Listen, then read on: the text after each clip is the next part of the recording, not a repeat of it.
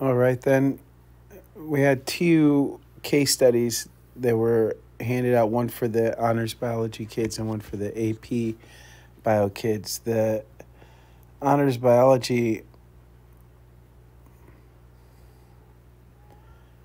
went over uh, uh, cell transport, specifically osmosis and diffusion, focusing on osmosis, while the AP biology went over. Uh, I think you did the internet. That's on the day that honors did uh, osmosis. AP Bio did uh, international studies.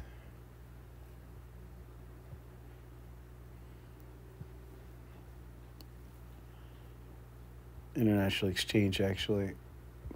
is actually an opportunity now for uh, for some students to go to Japan uh, with the program. I'm not sure how that runs, but and I'm not sure if it's open to high school students, but it's interesting that that could be a place where that program leads down in the future, uh, sometime in the future. okay, so the first part of this video is going to focus on the osmosis case study, and the second part's to uh, is going to focus on the AP Bio's uh, case study, which they did on on Wednesday this was on osmosis video was on Tuesday for the honors biology kids and AP biology did their case study on Wednesday. Honors biology had another case study on Wednesday. I'll create another video at a later time uh, on that case study.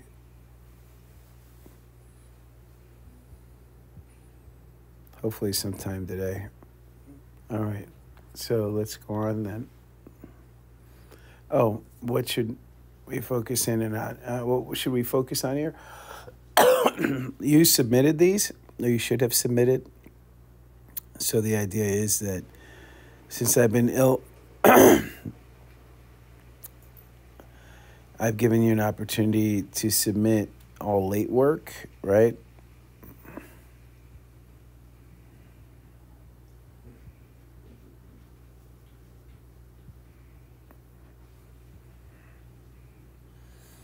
And as part of that,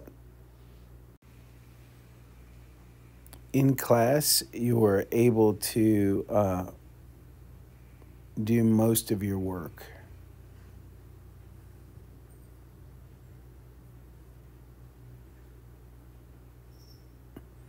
You have an opportunity today to go over and complete your chapter 8 work for honors biology, your chapter 8 reading and notes. Just simply reading and taking notes really should not be that stressful. At least I hope it isn't. It's been uh, two weeks you guys have had to work on that, including this week. And that's due Monday for sure. Now, I've been thinking over and over again about the lab report. Uh, I know some of you really worked hard on it, and I want to collect it on on Monday. Uh, however, I need you to know that even though that's a Monday deadline, I'm we're gonna work on that. I'm gonna give you opportunities on if I feel up to it. Um, Monday night, Monday after school, and uh, Wednesday after school, and Thursday after school. My uh, I will help uh, anyone who needs help uh, with that lab report to make sure it gets turned in and done right. So this is a soft deadline on uh, of Monday. So this is gonna be a soft deadline on Monday there for that.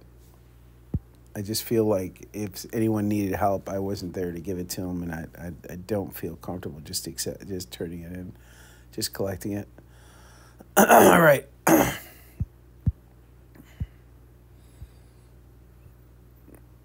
Now, let me see. So you've, you should have caught up with your your work, your chapter eight notes. I gave you a checklist to, uh, today to help you. I gave you a checklist today.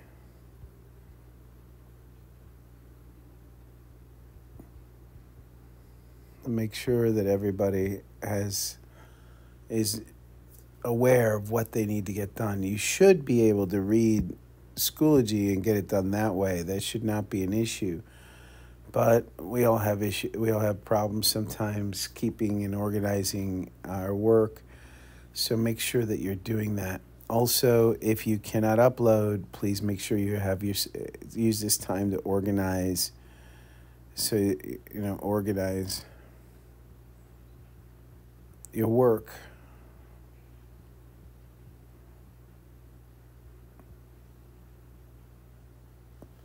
Now, you've had two assignments in honors biology and one assignment in AP biology. You had to participate in a national exchange and you had your registration for the learning platform as well as participation notes uh, for the international exchange should have been uploaded. That's fine. Uh, the videos, though, are that I'm making now are to help you if you in case you want to resubmit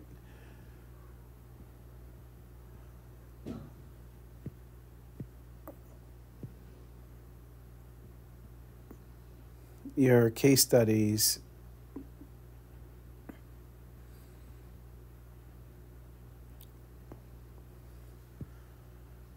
I want to make sure that you've done your work, that you've tried your best on your own, and then I want to give you the right answers now and allow you to resubmit them to try to get 100% on these case studies. Make sure you have your understanding straight. I want you to check your work. I want you to be reflective. I want you to revise that's what I'd like to see happen in this next uh,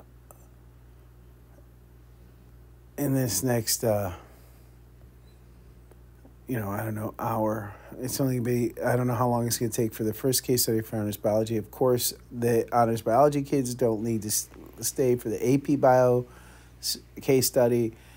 AP bio, I would suggest you uh, might want to look at, especially if you're a little unsure about osmosis, uh, you should go ahead and use this opportunity to at least skim through the the answers to their case study. I think it's an interesting case study, and I think you would have done well on it. Uh, however, you may want to check your work and make sure that your understanding is on par with expectations. All right, guys, uh, let's get started. All right, here is the first page of the cell transport and plasma membrane structure. You have simple diffusion is defined for you as one of the models.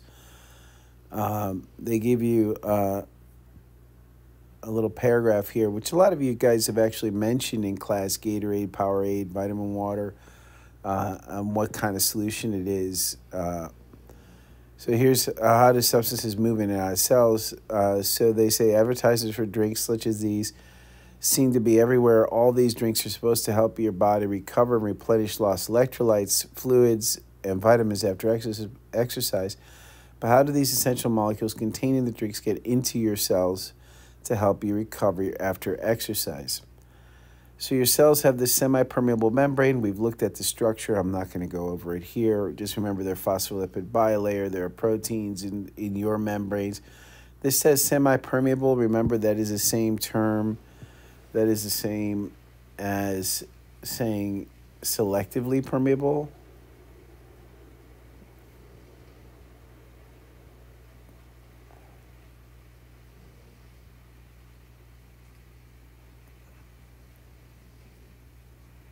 So make sure that those two terms are the same in your mind. Uh, I know that traditionally it's semi-permeable, but what have you? It's selectively permeable. In this case, it's it is semi-permeable because there's two of them and only one. Uh, looks like only one can get through, which is fine.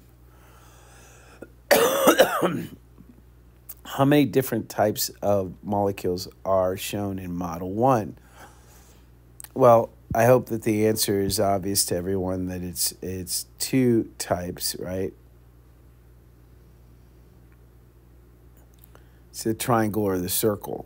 Uh, but in the case of a cell, remember, this could be uh, uh, water, and this could be sodium ion or chloride ion or glucose or an amino acid or a protein. So these are symbols like variables, like in algebra, where they represent any number of things. The point is that they're two different types of things. Count and record the number of triangles and circles found on each side of the membrane. Uh, so circles 1, 2, 3, 4, 5, 6, 7, 8, 9, 10, 11, 12. So 12 circles. And on, on left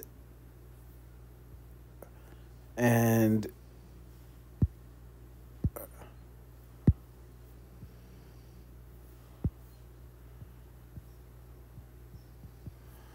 and let's see 1 2 3 4 5 6 7 8 9 10 11 12 13 14 triangles.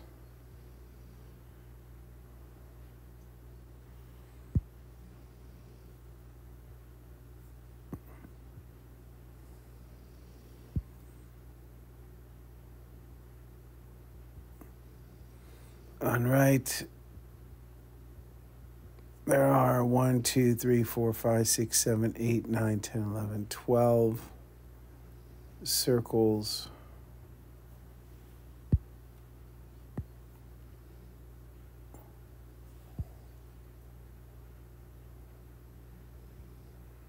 And zero triangles.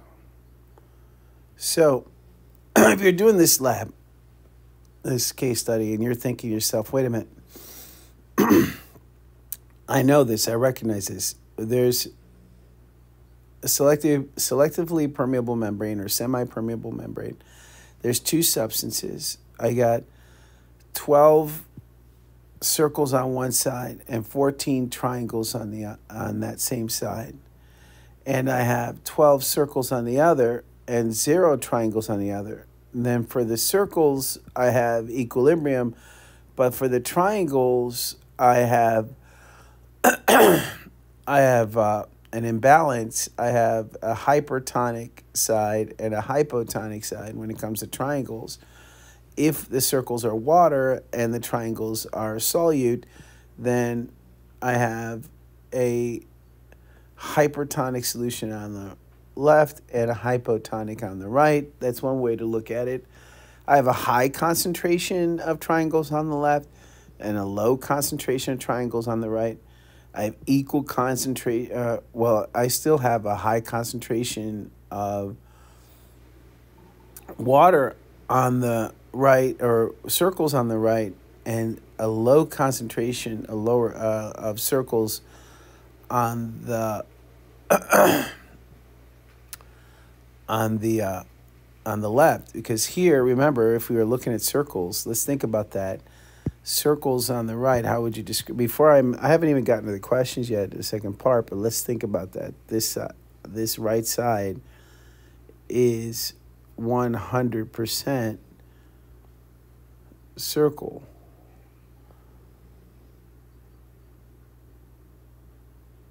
Right? So if we do the math, the left side's about 46% uh, 46% circles as compared to 100% circles on the right. Okay, and then it's 54%, 54% triangles, where 0% triangles on the on the left.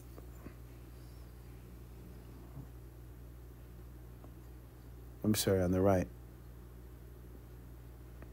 So, something to think about, even though before I even move into the problem, before I even read any further, already that popped into my head when I saw this. I saw the word simple diffusion, and I'm thinking to myself, simple diffusion, that means that it's just going to go from high to low. There's no extra energy required. I know that semi permeable, so one of the two semi meaning half, one of the two things is going to get through the other one isn't. Uh, let's go on and see what the case study then uh, asked me to. Which shape is larger? The triangle is larger. So these seem simple.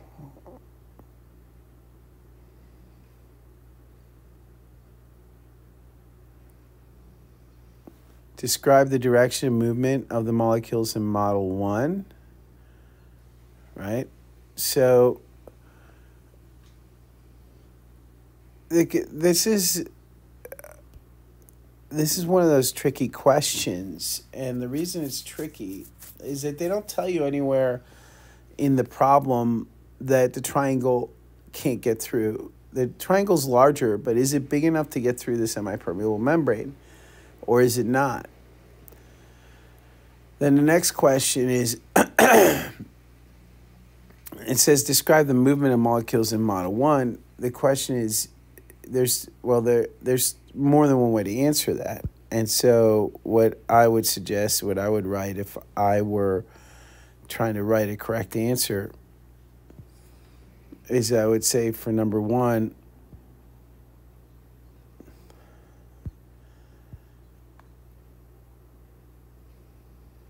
if the triangles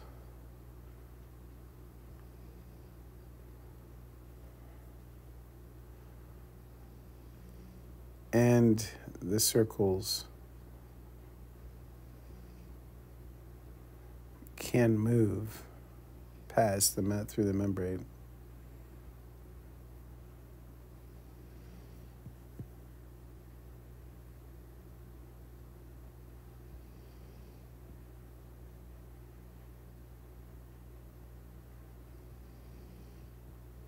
Then the circles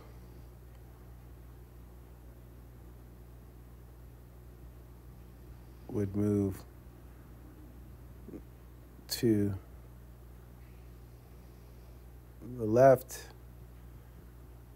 and the triangles to the right.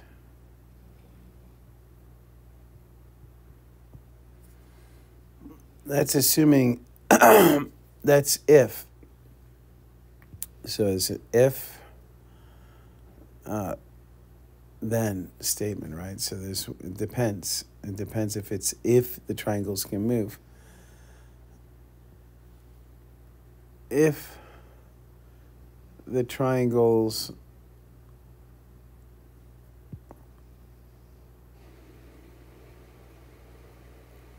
are too large to move.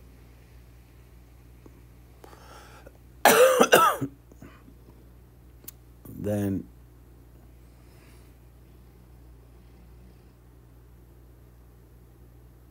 the circles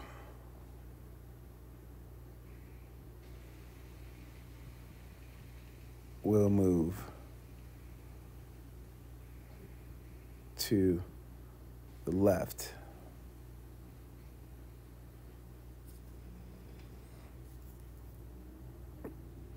Again, if the triangles are too big, then the circles on their only alone.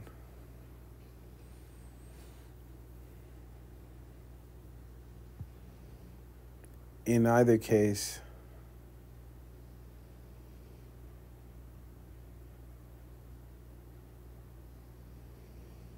movement. Will occur.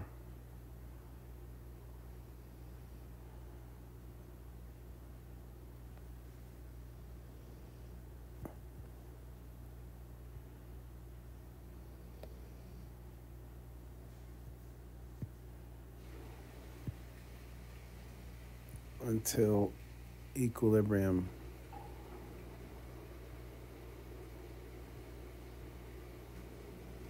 is reached,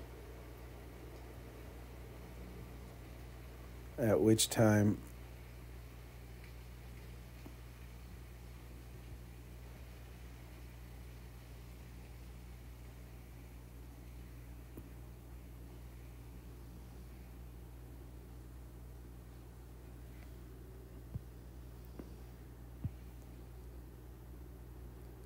movement in both directions.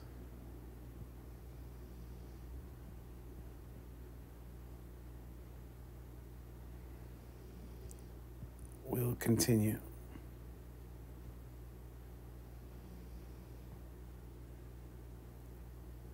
At equal rates.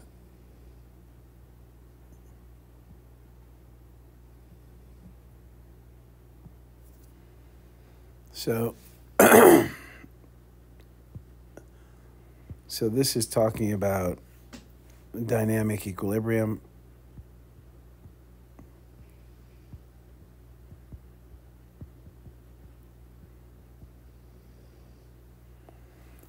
Um, um, up here, these triangles, we should see mostly, now these two mostly in one direction.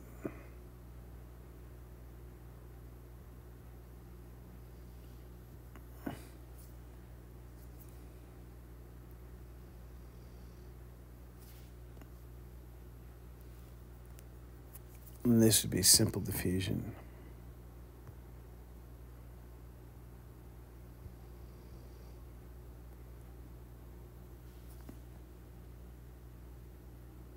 All right. So that answers that would be the absolute right answer in my opinion. Um, there's probably ways of improving this, but um, I you know what would I I would expect to see some understanding to the point where you, you should some in some way phrase it so that I understand that you that you understand that if the if the triangles can move, they're going to move toward from high to low right? And if the circles can move, they'll move high to low. So that that's important. And if the triangles can't move, then the circles will move.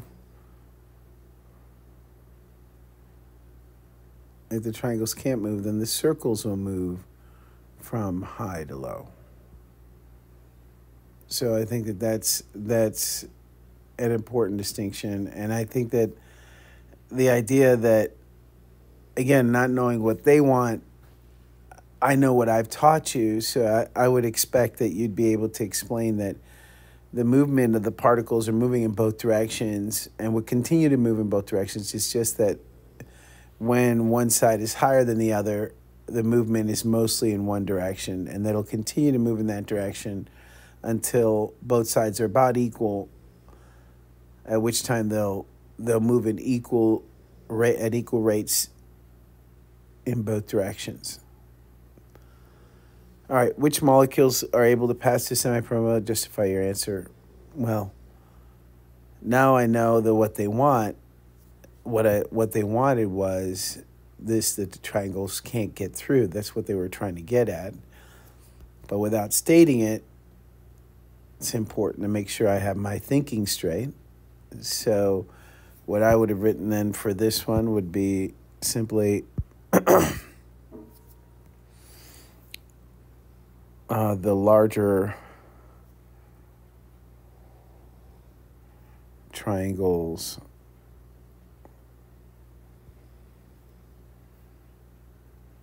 cannot pass through the membrane.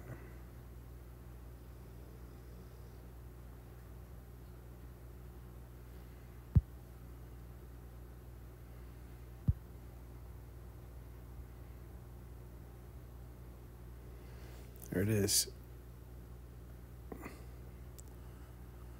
So, and I think that the uh, you know the key word here is again semi-permeable membrane, uh, larger triangle.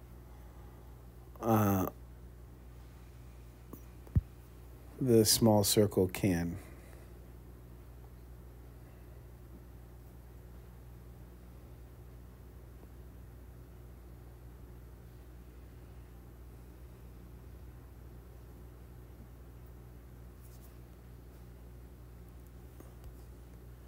And if I were asked to justify it, if I were asked to really get into it, I might say something like size is one of the two major criteria for particles trying to pass through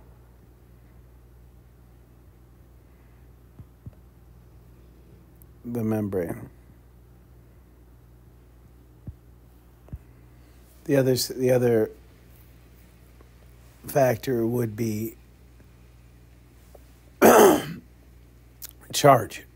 And so, uh, size is one of the two major criteria for uh, particles trying to pass through membrane. And of course, you don't know anything about the charge. So, uh, triangles can't pass through the membrane. Uh, the larger triangles can't, the smaller particles can. But they're, they're asking you to justify your answer, which to me, I don't know why they give you such little space uh, to do such a thing because how do you justify it in just a sentence? Uh, it would suggest uh, that you need at least a couple sentences or two or three sentences. But just to try to fit it all in, I'd say the larger ones can't pass through the membrane, the smaller ones can. Size is one of the two major criteria for particles trying to pass through the membrane. And it's, it's semi-permeable. You could you might have added semi means uh, uh, only part or half of the particles can get through. So that might be another clue. Uh, but that would be my my best answer given the limited amount of information. If you left this system for an extended period of time and viewed it again, would you expect to find any changes in concentrations of molecules on either side of the membrane justify your answer? Yes, I think you would expect, you know, you wouldn't get so if you if you drew it out and you knew that you had that here and this here. And I'm not drawing out every, I'm not going to go ahead and put out however many triangles and etc. And I know the triangles can't get through. I know that the the small circles are going to move in that direction in the in the direction of in the direction of the uh, from their high to their low. By the way, this is a model that suggests the beginnings of the foundations of the or the beginnings of an understanding of the word osmosis, right? This is foreshadowing osmosis.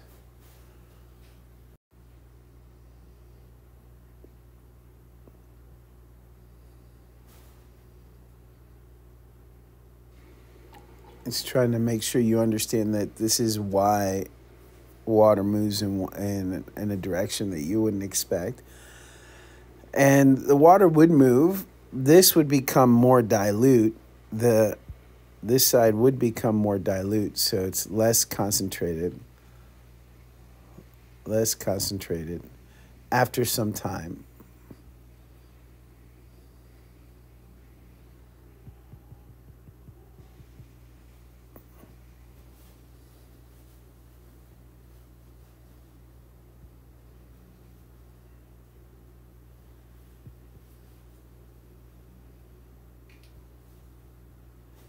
The left would be less concentrated, right? So it was it was 54%, about 54% triangle. Now it'll be a lot less. Let me read, let me rephrase that.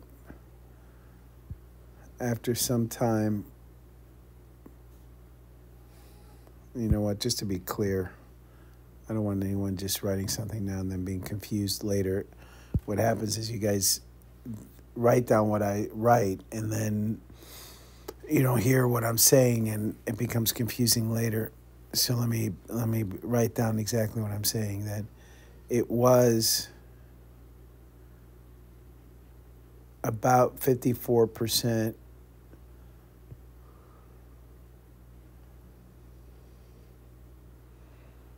So, uh, triangles.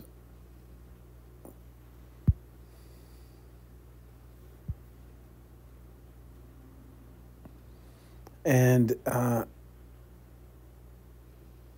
after some time,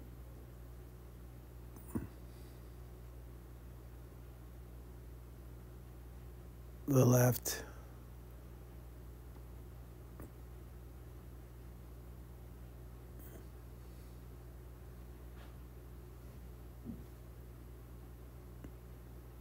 Less percent triangle. Right? I mean, does that make sense? You have more of the circles going towards the left. Yes, you do have some circles going to the right. I want to emphasize that. It's a smaller arrow but they have a lot of circles going to the left. So the left is going to be less concentrated over time. Where the right, though, is going to stay 100% water. the right is going to stay 100% water because the triangles can't get through.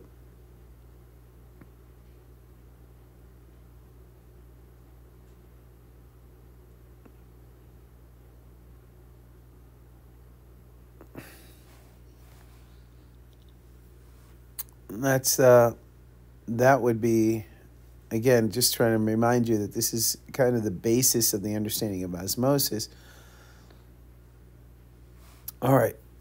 So let's go on to selectively permeable. That was a semi i see that they actually divided semi and selectively permeable. Cell is selectively permeable where this membrane is semi-permeable. All right i can accept that as a as a use. Unfortunately we both textbooks and and problems will often allow the word semi-permeable to kind of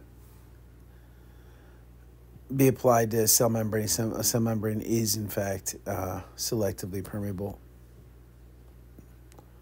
All right, so there are components of our cell membrane, as we discussed in the in the beginning here. Small nonpolar uh, or small polar molecules here, this little ones like water, right? Like oxygen gas, this little dots, the circles. And then the phospholipids are here, very, very uh, basic drawing of phospholipids. Small surface proteins uh, are just on the surface, either inner surface, they could be on the outer surface, but they're in the inner surface here. And then and then include oh no they I'm sorry they're both outer outer surface proteins and inner ones maybe this is blood type A or B or maybe it's some other kind of uh, molecule that's involved in signaling. Uh, it's going to be difficult for it to be involved in signaling unless it's attached to something else, but some kind of identifier.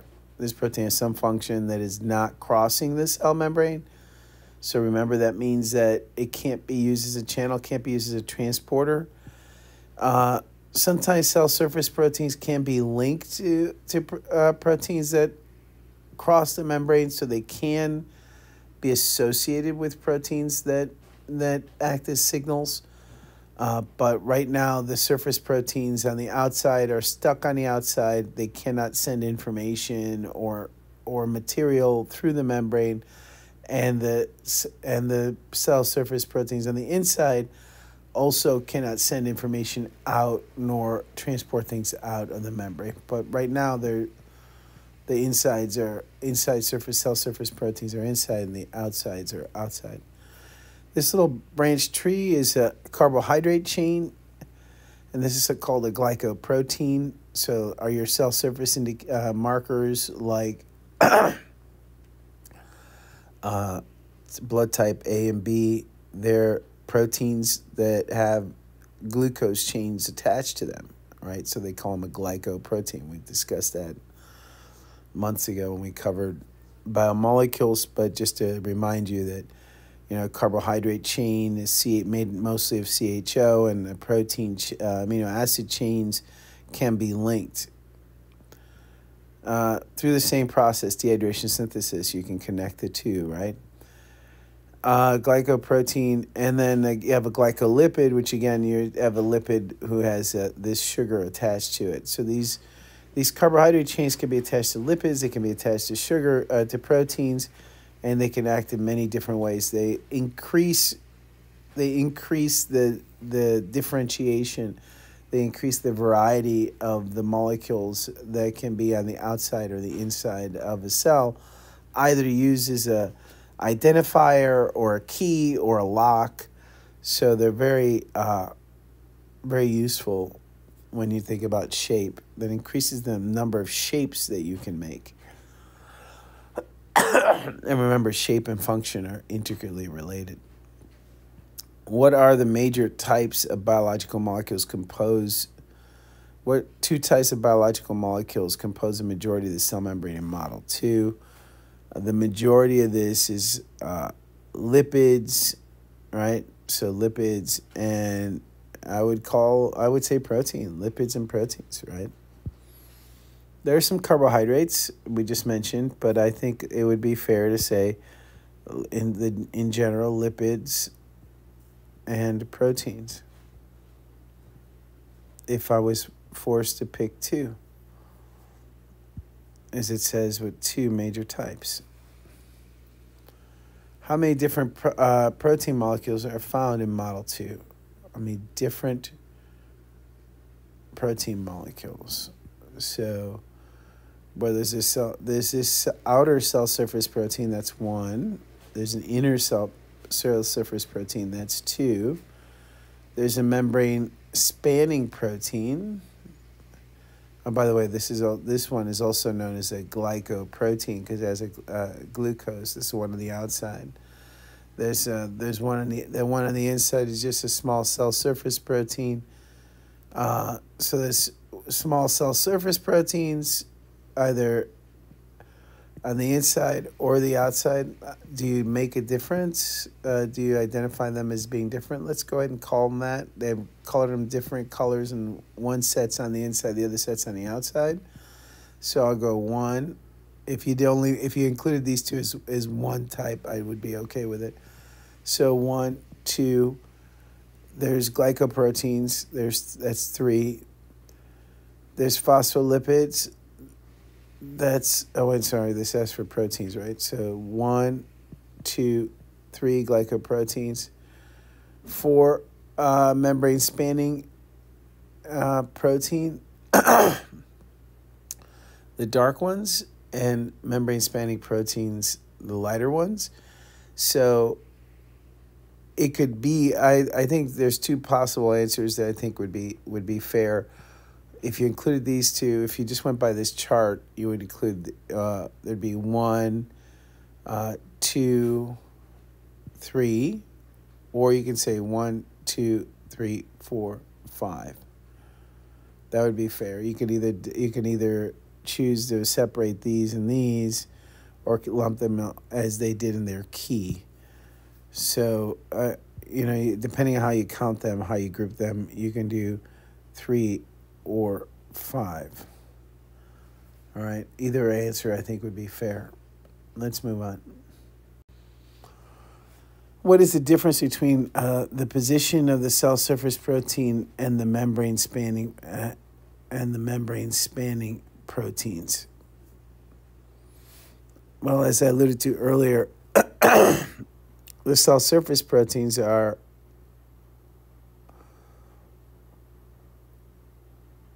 Here, let me just write it out, then I'll talk. So I'm just trying to, there's a lot of different ways you can answer this, but when I'm thinking about osmosis and diffusion, simple diffusion, I'm asking myself, why would they ask this question? Uh,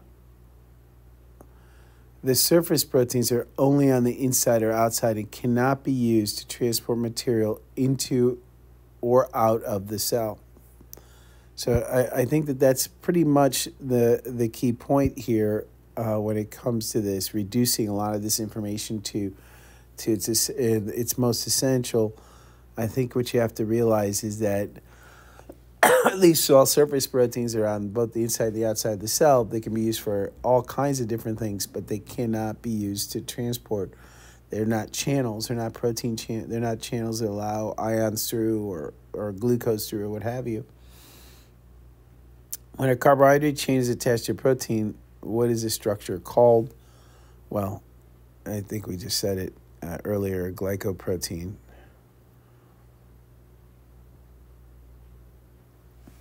When the carbohydrate is attached to a phospholipid, what's it called? It's a glycolipid. And that's all in the key.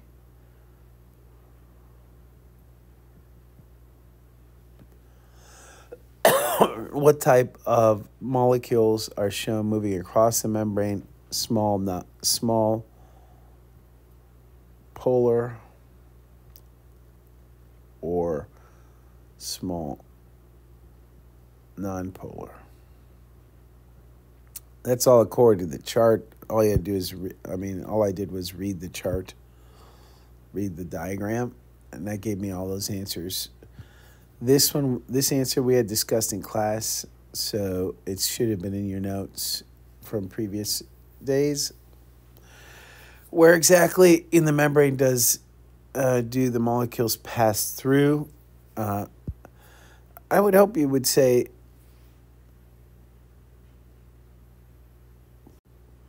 through the membrane only because you see the arrows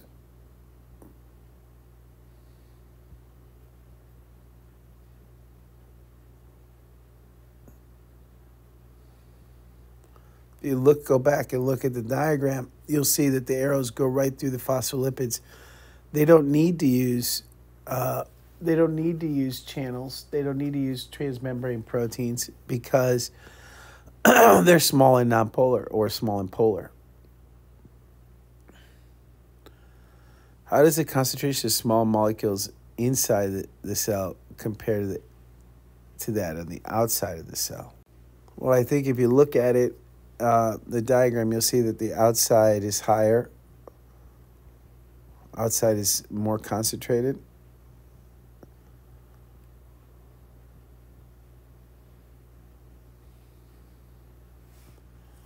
Because particles move randomly, molecules tend to move across the membrane in both directions. Does the model indicate that the molecules are moving in equal amounts in both directions? Justify your answer using complete sentences. So to answer the question, um, does the model indicate molecules moving uh, in both directions? Justify your answers. The show, model shows more arrows pointing in than pointing out. This suggests that more are moving inward.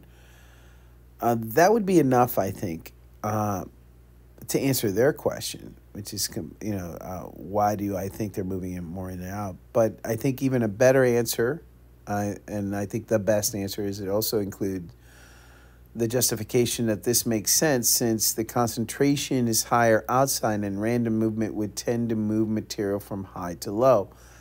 That that is the expectation that things are going to move from high to low mostly, right? That the majority of material, even though mater- the material is still going to keep moving in both directions because it is random movement, not some kind of uh, energy driven selective transport, you'd expect the material to move from high to low. All right. The majority of the material to go from high to low. All right, and he says, read this. When there is a difference in concentration of a particular particle on either side of membrane, a concentration gradient exists.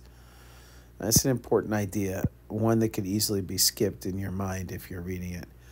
Concentration gradient. Remember, we said in class that when you, uh, in art, you know, they'll ask you to do kind of uh, a shading uh, technique where you start with very dark lines and then uh, then you move on to uh,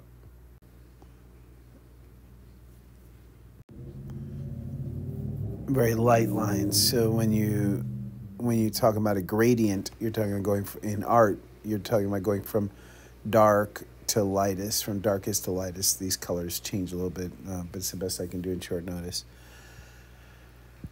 Uh, so the point is that when you're talking about a concentration gradient, you're talking about going from a lot, right? I should use darker. Use a lot on one side, then you have less and less and less, and then less until you move on. And so what what you get is uh, in a concentration gradient, you go from highest to lowest. It's not high on one side and low on the other. Usually, it's there's a dispersion pattern, a pattern where you go from highest concentration to lowest concentration, just like you would from darkest to lightest when you're doing art and you're doing a, a shading exercise.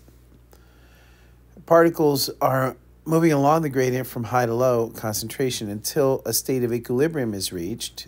There's another word that we've again already identified, and it's important, uh, but uh, equilibrium is reached. At that point, no more net movement. Now, here's the key another key word net movement in one direction, although particles continue to move randomly on both sides it, this is often called dynamic equilibrium, which we've already identified as kind of what the whole purpose was. We reduced it down already before we even got to this point. The net movement of particles along concentration is called diffusion. So the movement, the net movement, the movement from high to low, is diffusion. All right. Look back at models 1 2. Which particles are moving by diffusion across the membrane shown? Well, I, I hope that, that it's reasonable to say that it's going to be the small circle. Uh, I hope it's fair to say that they're small, polar, or nonpolar.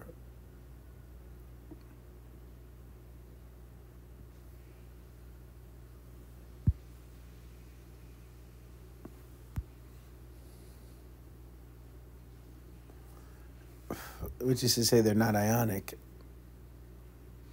So they're small, polar and nonpolar, and they're circles. So that's that would be the answer to that that page. I believe most of there. Uh, I think you have um, everything there we've covered in class.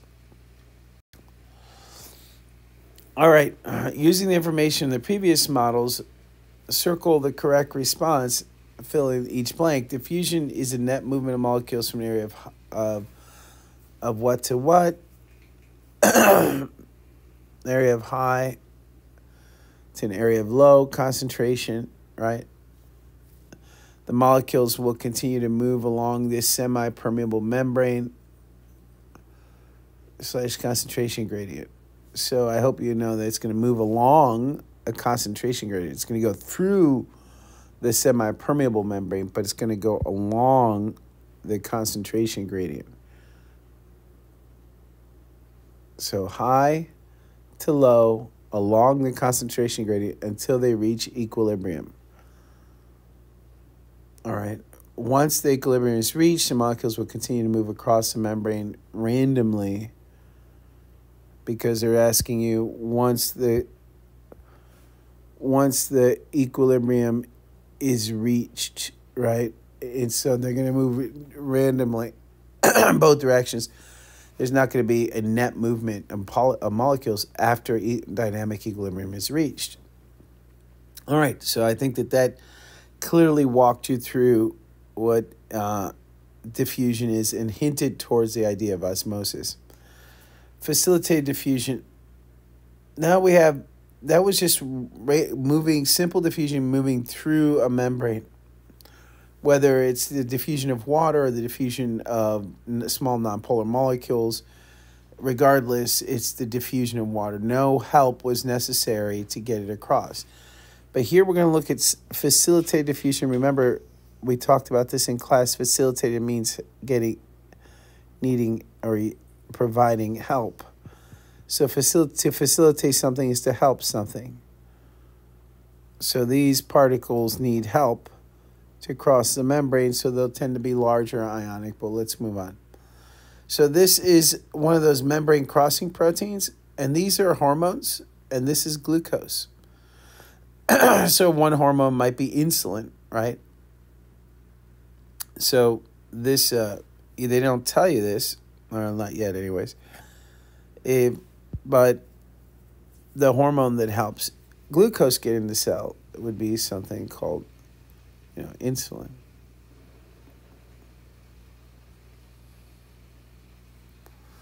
And so insulin would bind to the protein, the uh, to a site, the membranes. one of the many things insulin does.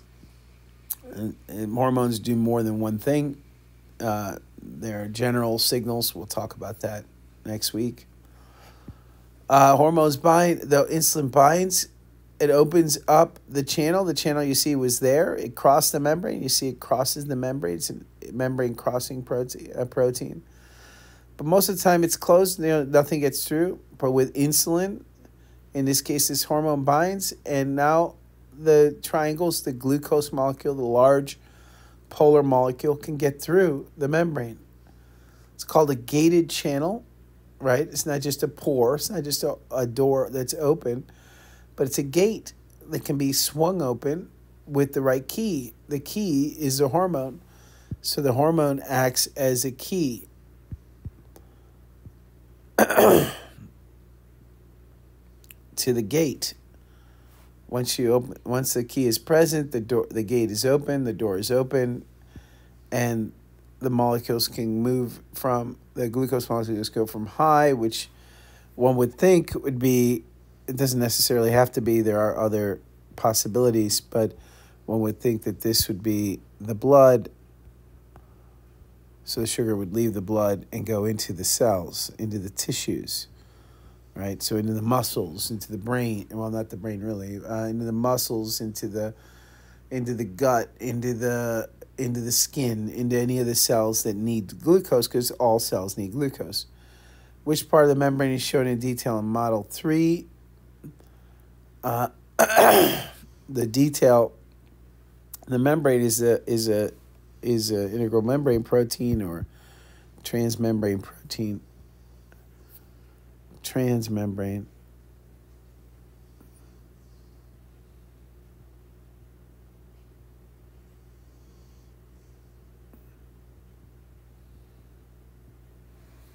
What type of molecule attached to the protein? Hormones. Oh, another, uh, it, maybe we should call it a gated channel.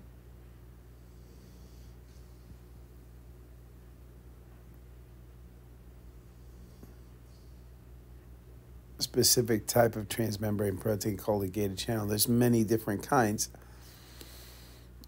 Explain in detail what happened to allow the glucose to pass through, and I just said it verbally, but let me go ahead and write it.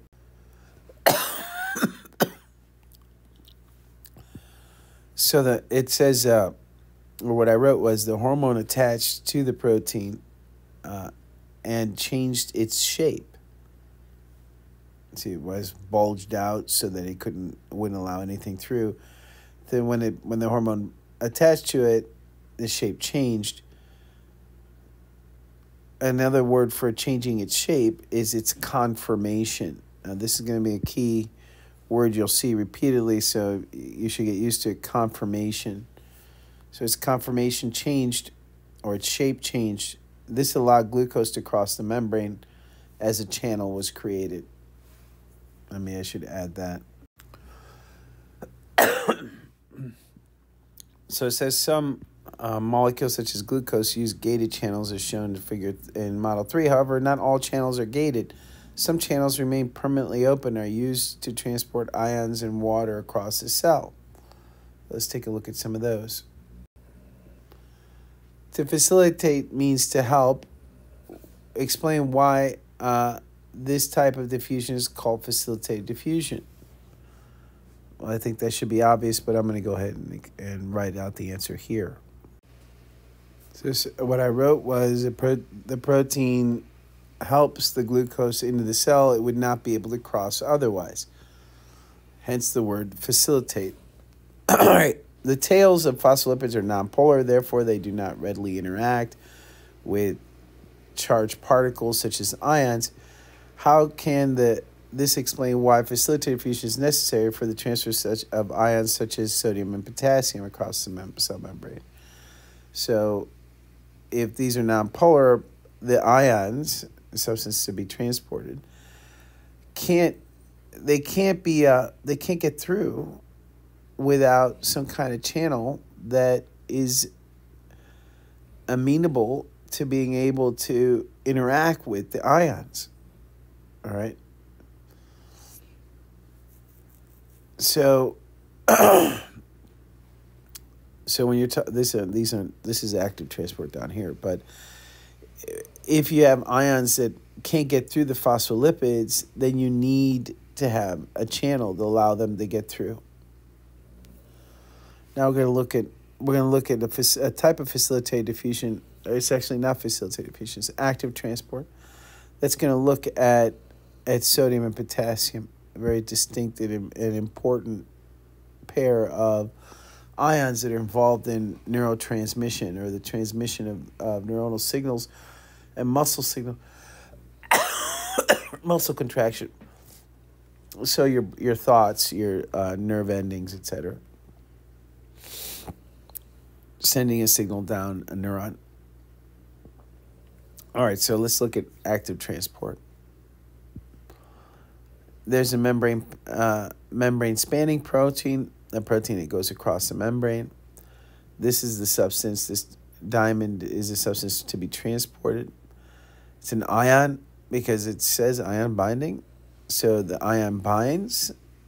So there it is. This substance binds then we're using ATP. ATP it is inside the cell. So to be clear, this is outside.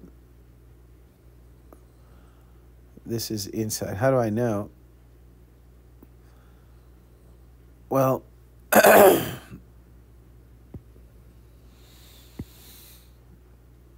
this is ATP binding site. ATP is made inside the cell. So if the ATP binding site's on this side, this must be outside over here, and this is inside. So ATP is adenosine triphosphate. We've discussed this before, but instead of writing out adenosine, I'm just going to go and, you know what, let me.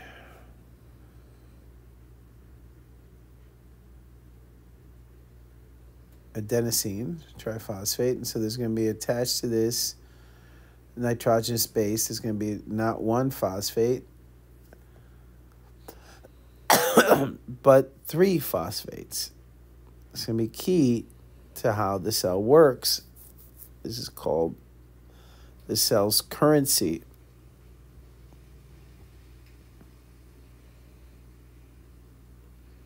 No work gets done in the cell without ATP. And in fact, going from ATP to ADP, and we have discussed this in the past,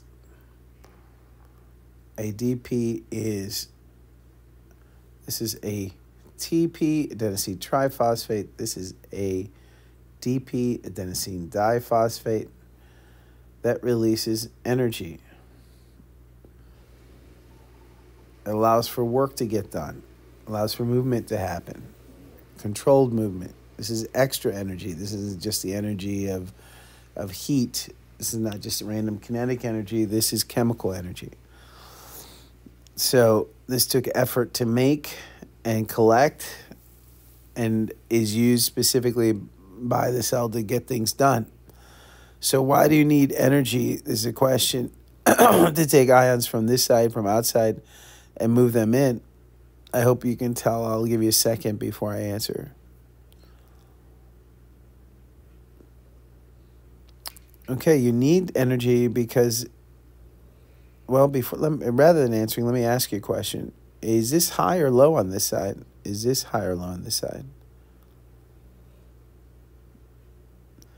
Well, I hope you answered that it's higher on this side. So the dim- the diamonds, the substances trying to be transported, the ions are lower concentration on this side and higher on this side. So we're able to move them across and create a create a gradient, create a concentration gradient. These are ions, usually negative or po- I mean they could be positive or, or they might be negative, uh, but let's go ahead and say positive ions. So this side is now more positive than this side. So when you have why? Because each one of these, by the way, the diagram shows these three. This is time passing. I hope you understand that. This is where it starts. This is where it, where where it ends up. this is the middle as ATP binds. And then finally, as ATP gets turned into ADP, the energy, the protein changes its shape, the conformational change occurs, and the ions move in or out or whatever's happening. In this case, these ions are moving in. This is a general structure. So each one of these is a different time. So this is time zero, this is time mil- 10 milliseconds, this is time 20 milliseconds, whatever it is. Uh, so let me uh, emphasize that by kind of putting a an arrow this direction, arrow that direction. Or maybe it'd be better just to kind of draw a line. Maybe that would help. Something like this. All right, I don't know. Just to make sure that you understand that this is the beginning, this is the middle, and this is the end. It's not three different proteins, it's the same protein at three different times as the ions are showing you moving into the cell. Ultimately, this side is positive, this side is negative. What do we call that? When one side, when you have a positive side and negative side, We've discussed this again in class previously. This is called a battery. All right? Where separated charges, you have an electrical potential.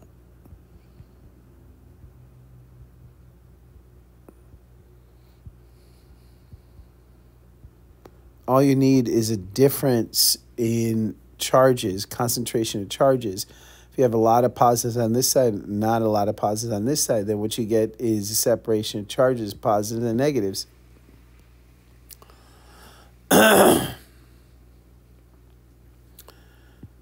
Which part of the cell membrane is shown in more detail in Model 4? Well, we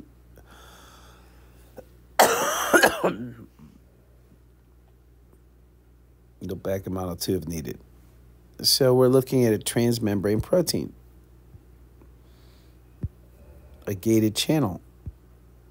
So, you know, I mean, you could name it a transmembrane protein.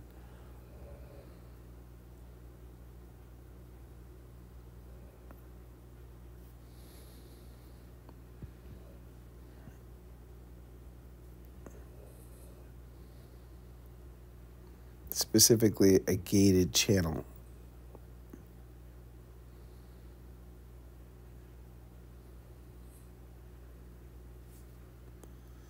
what shape represents the uh, other substance being transported across the membrane? The diamond.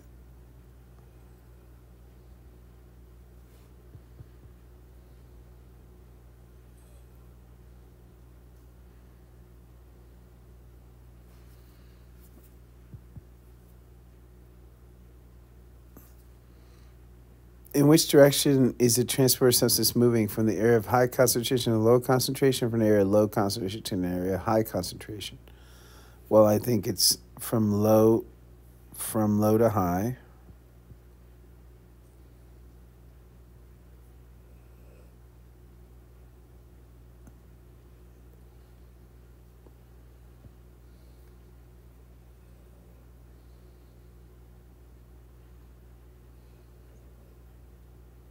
As the number of diamonds attests. Hmm. Shows.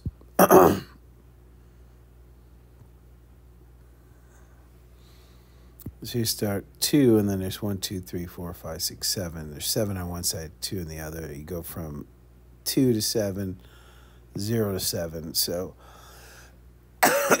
seven or nine rather. It'll be nine once these two enter this area. All right. Let's move on. Is the substance being moved along down the con- along down the concentration gradient? Justify your answer. So down would be what? What is down? So down means from high to low.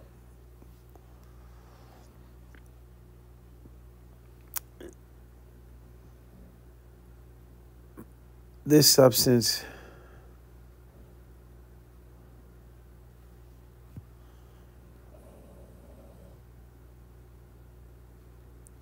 is moving from low to high. So it is not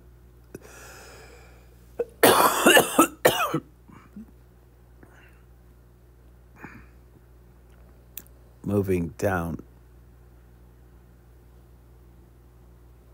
the gradient. In fact, it's moving up. All right. ATP is a type of molecule that can provide energy for biological processes. Explain how energy is being used in Model 4.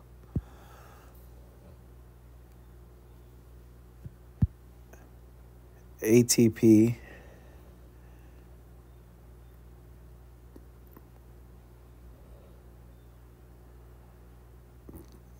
let me see binds to let me pause this so ATP binds to transmembrane protein. This provides the energy necessary to change the protein's shape or conformation. what happens to the ATP after it binds to the protein? Oh. So, what happens to ATP after it binds the protein? A phosphate, uh, a phosphate bond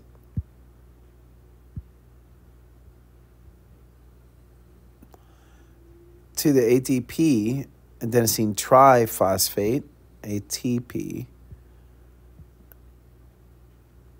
is broken and it becomes ADP. This releases energy. The type of transport shown in Model 4 is called active transport, while diffusion and facilitated fusion are passive transport. Now, these are very two different processes obviously, as, as we just identified, I think it's obvious, anyways. I don't know, maybe it's not. It active transfers from low to high, and passive transport is from high to low.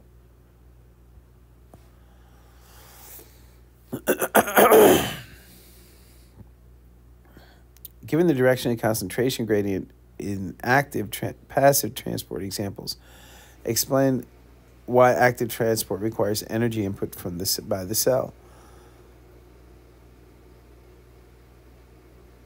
The general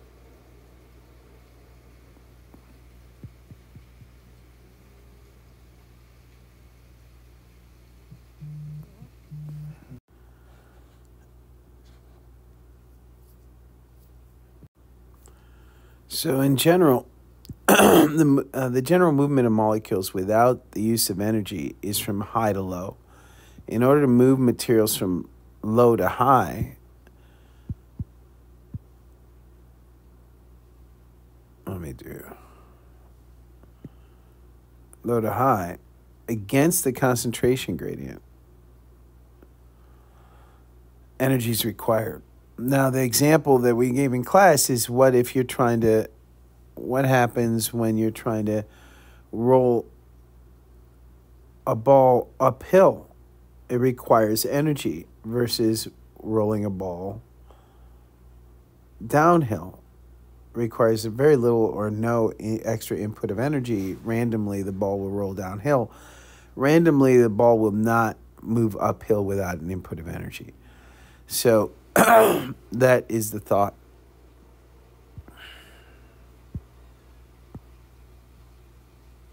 Okay. Complete this this type uh, this chart requires the input of energy by the cell. Active transport, yes. Diffusion, no. Uh, facilitated diffusion, no. The word the word here, the key word here is diffusion. Facilitate diffusion just means that diffusion or the movement of materials randomly down its concentration gradient. Facilitate just means helping it do that. Molecules move along, down the concentration gradient, down, along, or down the concentration, down, down the concentration gradient? No. This is not true in active transport. This is true in diffusion and in facilitated diffusion, yes. Moves molecules up the concentration gradient, yes, for active transport. And no, you need to put energy, which is the key here is that ATP is going to be used. Always involves channel membrane spanning proteins. Yes, you have to have the only way to get material across the membrane is to is for the membrane to cross to span the membrane. And that goes for it's not true of diffusion, but it is true of facilitated diffusion. Remember, diffusion, simple diffusion, just it goes right through the membrane. Some kind of channel. Molecules pass between the phospholipids. No. In which case, if if that was occurring, there would be no need. There would be no way uh, for a, for the cell to be able to push it against the concentration grade in the case of active transport. Yes, that's exactly what happens here in diffusion, and no. Facilitated diffusion, again, facilitated means help. What helps? Proteins, transmembrane proteins, or membrane spanning proteins. Moves ions like sodium and potassium ion. Active transport, yes. We just looked at that example. Diffusion, yes. In in a different in a different not diffusion, I'm sorry, no, not diffusion, no. Facilitated fusion, yes. Because you need the protein to crop cross it. Ions cannot randomly flow through the membrane because of the nonpolar tails.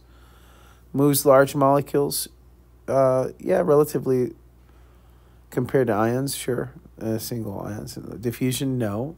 Remember, small nonpolar, small polar. Uh, facilitated fusion, sure moves small nonpolar and polar molecules. Small, no. Not active transport. Uh, yes, because diffusion allows them to go right through the membrane. And again, if they're small nonpolar, this can occur here. It's unlikely you're going to use energy, but we'll look at, you'll look at this one. This is actually there's a molecule called aquaporin. This is a great example of, of moving a small nonpolar mole or polar molecule across the membrane. Now, why would that be necessary? Is water so important that sometimes you need to get more water than can randomly uh, diffuse through the membrane because diffusion can be somewhat slow. So you open up a gate and allow a lot of water in or a channel channel let a, let a lot of water in. All right, let's take let's, the next slide here. Given the information on the graph, which type of cell transfer would be best to move substances into out of the cell quickly? Justify your answer. So active transports up here refer to uh, rate of transfer, so how fast how fast things move. active transport spectrum. Diffusion is pretty consistent as you go up. So the larger the concentration uh, gradient difference, the faster the diffusion happens. So if you have a large, a very high, like let's say, for instance, you have a cell, let's say you have you have two cells and one is uh, 10% and 20% and one is 10% and 80% solute of some kind and if diffusion is going to happen it's going to happen a lot a lot faster it'll happen here quickly but it'll happen a lot faster a lot faster in this because of the concentration difference is so large. So larger concentration difference, the faster the rate of diffusion. Facilitated diffusion. Now the reason this is so fast is because the only limit is the surface area of the cell, as we've discussed in in the lab, and the concentration are the only two factors you got to worry about, assuming the temperature is is constant when you're looking at diffusion, so it's a pretty much the concentration gradient. If, assuming temperature is constant, the the concentration gradient and the cell surface area is constant, then the only thing you're really worried about is is uh, how the concentration difference, how big a concentration difference you have. With facilitated diffusion, you're you're gonna get that that in that difference in concentration is gonna is gonna occur it's going to make it go faster and faster. But there's a limit. That's why this line kind of plateaus. When you see a line flattening out, starting to decrease its slope and then start to flatten out, there that means that that it's not going any faster. It didn't slow down. It's just the change in the change in the rate of transport is not increasing anymore so it's it's it's plateauing. We call this plateauing or flattening.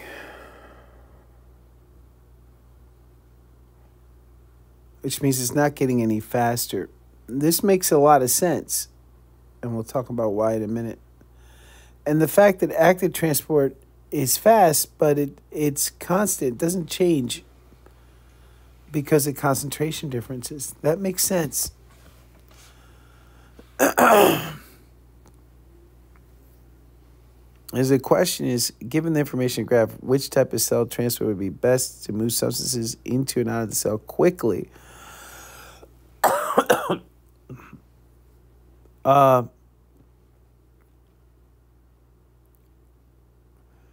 well, active transport is just always fast.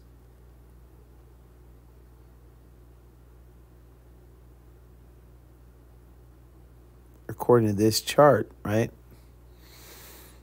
This chart says it's always fast.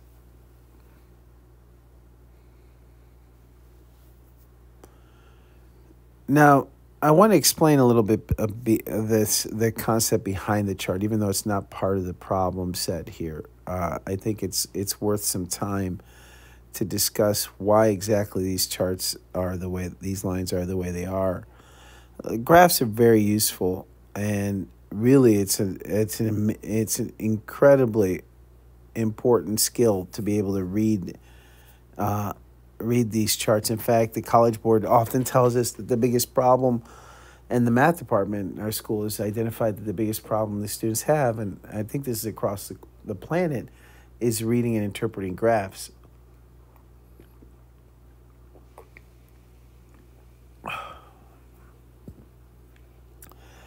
So, in order to, to really think about a graph, you have to think about what, what makes it what makes the difference between diffusion, facilitated diffusion, and osmosis. So, as we saw with with diffusion, diffusion is just there's just two factors that you have to consider, and that's the surface area, assuming assuming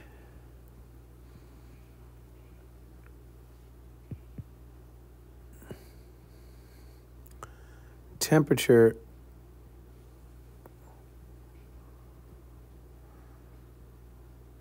and surface area are constant.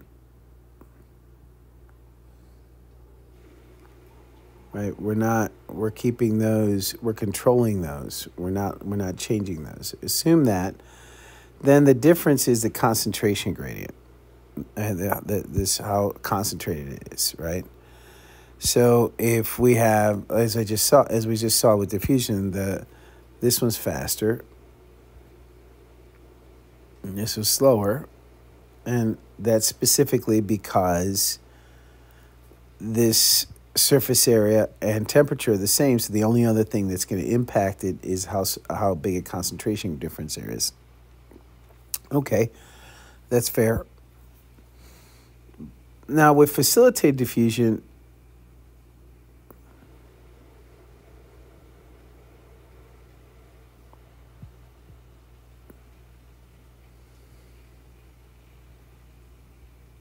With facilitated diffusion, you're going to have the same the same two cells.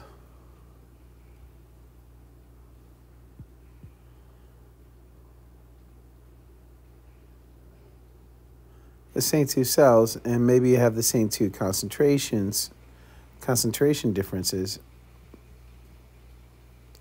But because it needs help there's one more limit that you're putting on this cell and that's the limit that makes it flatline that makes it go it can't go any faster. And that's the number of transmembrane proteins that you have. Because this is going to go this will go faster than this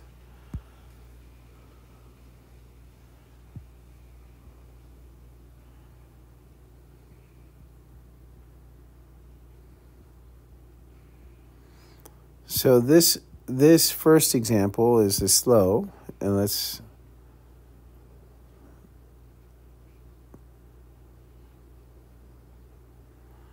this is faster, but this is the same.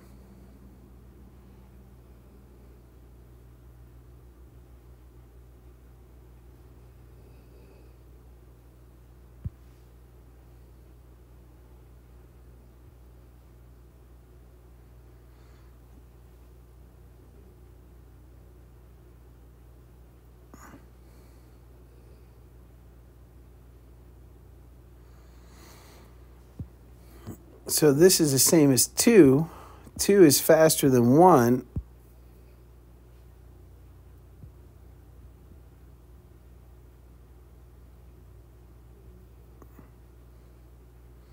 And 1 is the slowest. Well, that's because the concentration gradient difference is is bigger here. But even though the concentration difference is bigger, right? The, the, this is a steeper hill, okay? You would think it would go faster, but it can't go faster because it needs the channels. If this is this, the number of channels, number of places it can go in is limited by the number of channels. Where here, the only thing that limits it is surface area. Here, you have the same surface area of the cell, but that surface area is irrelevant because you it only it can enter the this material can only enter the cell with help with these transmembrane proteins so that these two have to stay. This this one, there's going to be a limit. There's going to be a place where where it limits. They can't go any faster. So when we look at facilitated diffusion, this would be this would be where we would see number one. So if we look at this one here, let me let me zoom in here and just say here is where we might see one we might see two here, right? But we have a limit, even though the concentration difference is getting bigger and bigger. Here, well, let me see. Let me redo this. Maybe this is two. Three might be a little faster, but not by much because you're limited by how many different transmembrane proteins you have. So when one, two, and three is being considered,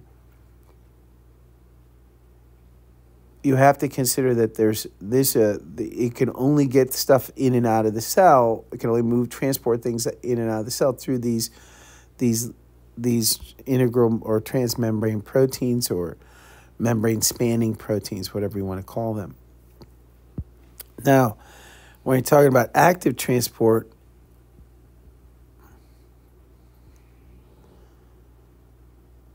the concentration difference is irrelevant because remember, the whole point of active transport is you want to move things from low, and we've saw the examples we saw was where low was outside and high was inside, but it can be reversed as well, uh, where you have here you have the the the, the transmembrane protein, but you also are going to need to have uh, you're also going to need to have ATP going to ADP.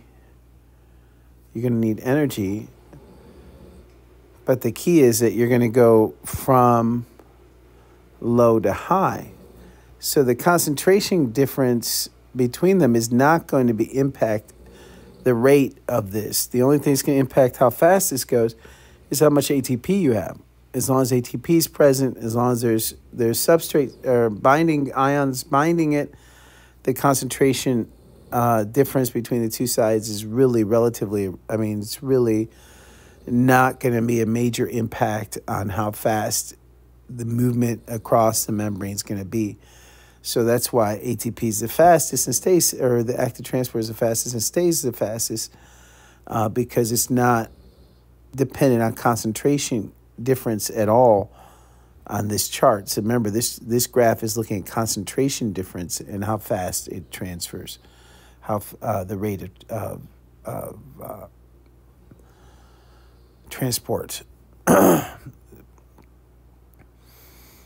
right, so it says which of the cells would be best to move substances into another cell quickly. Well, if according to this, it would be active transport, but of course that's not really the the going to be the big concern. There's going to be other factors. Yeah, it's a system, so you have to consider a lot of other factors.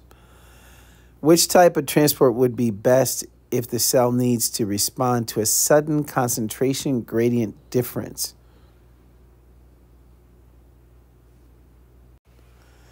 So you have to think about what the, the there's a there's a quick answer you might jump to. It might say active transport Okay, because it's always fast. Okay, that's that's fair. But it says you have to think about what this is saying. It's saying the sudden concentration gradient difference, right?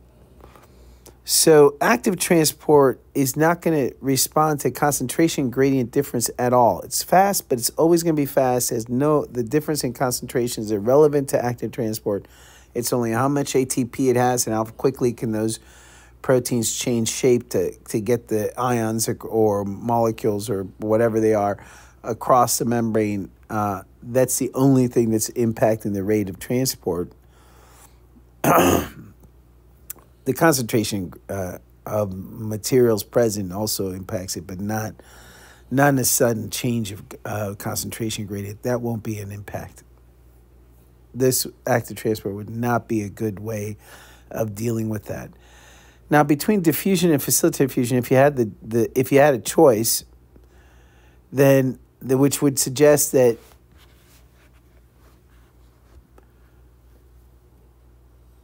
the it would depend, right, on on on where along this line you're you really are uh, are are where the concentration how big a concentration difference it is. And and what and as to how much it could increase its transport, uh, its ability to transport across the membrane. Ideally, obviously, diffusion would be the key. Anywhere beyond this plateau, this flat line, diffusion would be the best because it can it can keep increasing. It increases with concentration difference, and it's probably the best answer. Diffusion is probably the best answer depending on your explanation, I, I, I personally feel either diffusion or facilitated diffusion could be a, a good answer. But diffusion, diffusion, once uh, the limit of facilitated diffusion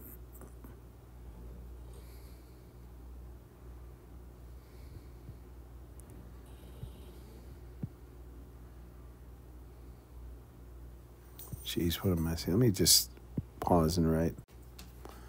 Limit of facilitated diffusion is reached.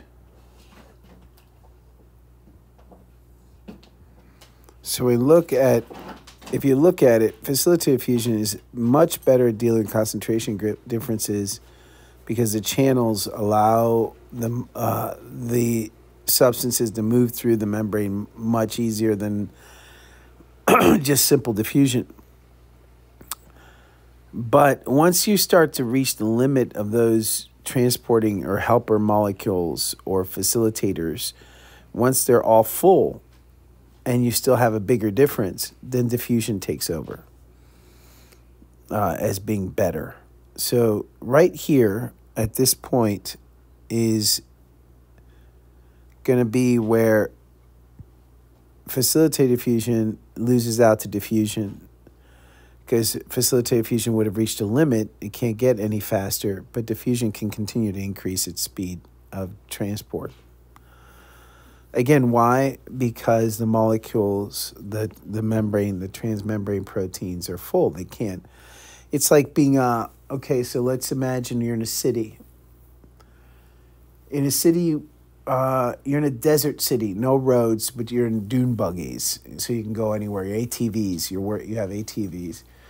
You have a million, uh, you have a hundred, or let's say a hundred people, and they want to leave this. Or let's not say a hundred. That's too small. Let's say ten thousand people. All ten thousand people want to leave. They all have four wheeled ATVs. There are no roads so there are no roads. You can just go in any direction, any te- anywhere. No, no water hazards, nothing like that. It's flat land, desert. So leave. Well, everybody just goes. quickly leaves the city. No problem. So if this is a city, in this analogy,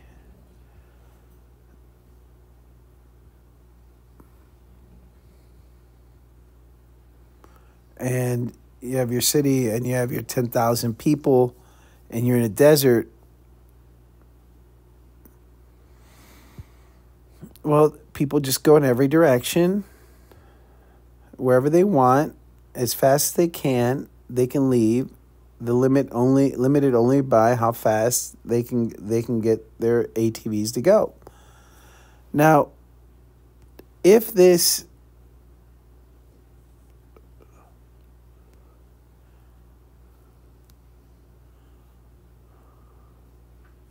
Huh. Give me a second.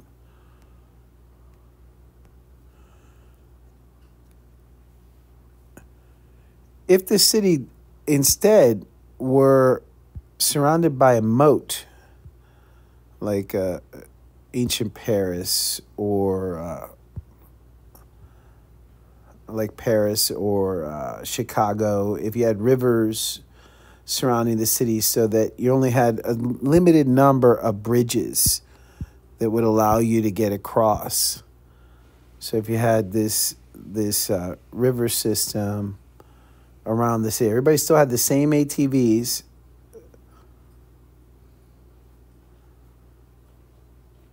Same ATVs, same number of people all wanting to cross. But now you only had two bridges out of the city. You only had two bridges out of the city, then you could only get so many people over those bridges at any one time. So now, when there's just a few people,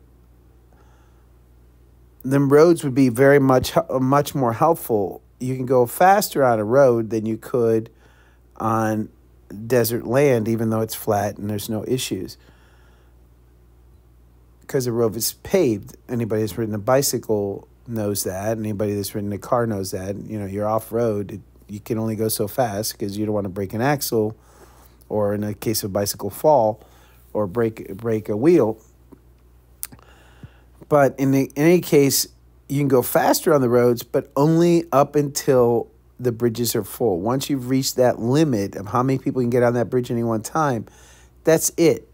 Here, with this in this example, without the roads, sure you can't go as fast with on uh, you can't go as fast as you could on a paved road, but you can go in every direction, and many many people can go. So at, at after you've reached that limit, the the the unrestrained movement of diffusion takes is faster than the restrained movement of facilitated diffusion, right? So consider that when you're looking at a graph. A lot, all that came from this graph, and I think it, it really makes uh, shows you how connected this information really is. If you understand the basic fundamentals of exactly what does it mean to to be to be facilitate to have facilitated fusion, active transport, or diffusion, I think it's I think you have uh, you could have you had a better chance of understanding this graph in a little more depth.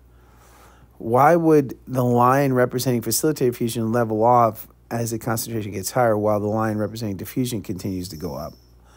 Well, I just explained all that. I think you should be able to write it down at this point. Uh, I'm getting a little tired and I want to finish this this case study at least. I don't think I'm going to do the AP uh, this morning. I'm going to have to try this afternoon.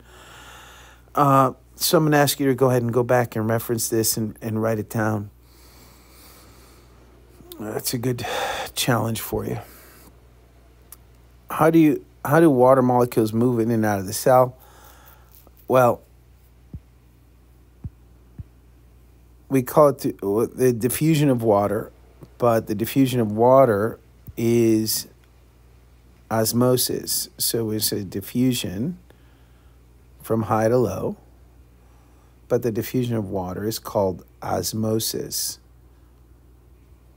Right? Water accounts for 70% of the human body. If water levels are not regulated and maintained in organisms, the con- an organism, the consequence can be disastrous. Cells and tissues may swell, blood cells burst, the brain may expand so much it, uh, it pushes through the skull, leading to brain damage and death. So, what exactly is the process that allows organisms to regulate and maintain their water content? Well, we're going to answer that, I think, in uh, in the in the next pages. But we're going again, we're going to say the word osmosis, and we know the rules of osmosis. We went over it. I asked you to write them down. Those were the notes you were supposed to have uploaded a week ago.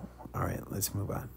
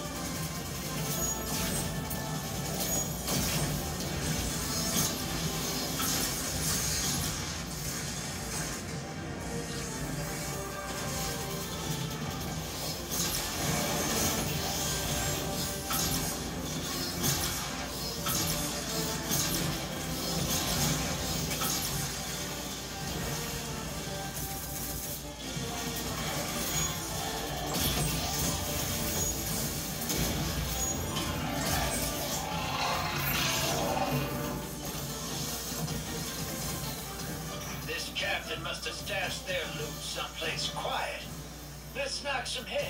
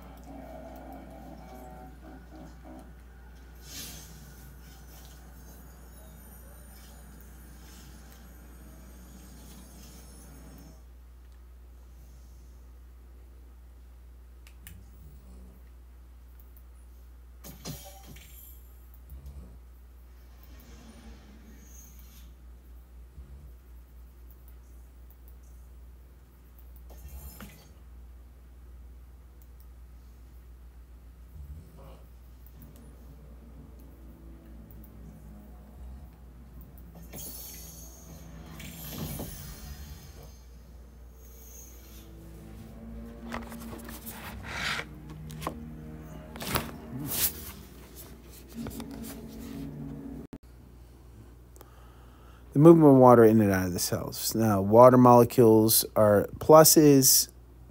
This is here the key. This is selectively permeable membrane, so it's a phospholipids and protein. and then these are sugar molecules. Now, sugar is not going to get in and out of the cell without help. So, as you see here, there's a lot more sugar outside the cell than there is inside. Solution consists of a solute and solvent mixed together. For the solution, model one, identify and provide the symbols. Solute, well, that's easy stuff. Easy peasy. The solute is a circle, and the solvent is a plus. Consider the size of the sugar molecule and the water molecules of one. Which molecules in the diagram model one are, are should be able to select to move through the selected permeable membrane. This kind of references the first activity you had in this in this POGIL. So we're going to say the the the water, right? Consider the arrow, the the arrows indicating movement across the membrane. Uh, in which direction are water molecules moving into or out of the cell? I think you could see that that it's mo- they're moving in both directions. They're moving out. And they're moving in, out, out, in, out.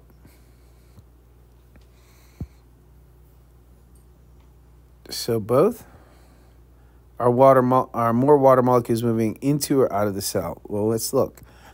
I'm going to count out. One, two, three, four out. One, two in. So more out.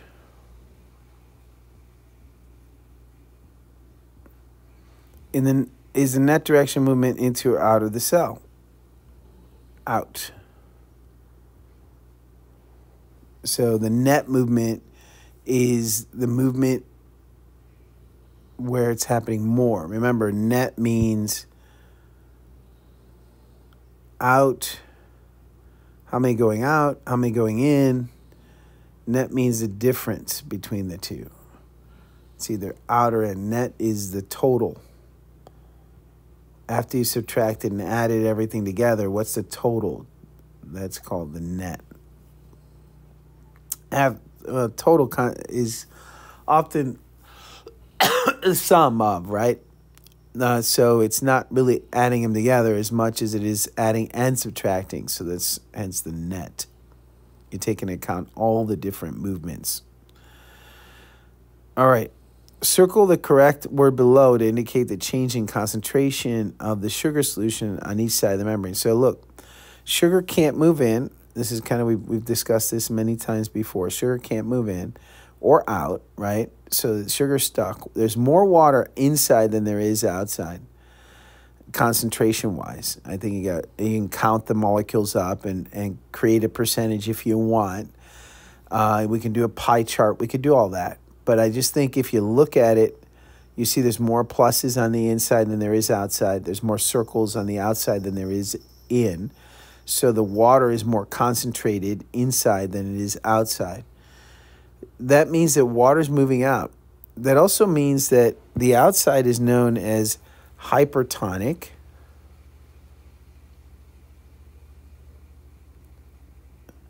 Right? Where the inside is hypotonic.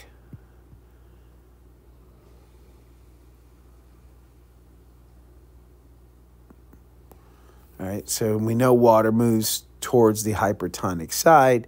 So we know that water's moving out. Those are kind of the rules that we've come up with already. We've discussed it, we've tested it and written out the notes, done a lab on it. So circle the correct word below to indicate the changing concentration of sugar solution on each side. The solution inside the cell will become more or less concentration inside the cell will become more or less concentrated in the net movement. Or if the water is moving out, the inside of the cell will become, I'm pausing for effect, will become more concentrated. Because as you lose water inside, inside becomes more concentrated, and the outside becomes less concentrated, less hypertonic. The inside becomes more or less hy- hypotonic or more hypertonic, right? So you get more concentration of solute inside, less concentration of solute outside. The number of solute concentrations do not change. The solute number stays the same. It's just you increase the solvent outside as the water moves out more than it moves in. So it's more concentrated inside after a while and less concentrated outside.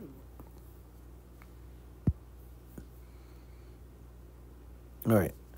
Applying what you already know about the random movement of water molecules, what will eventually happen to the concentration of both sides of the membrane? They're going to be equal.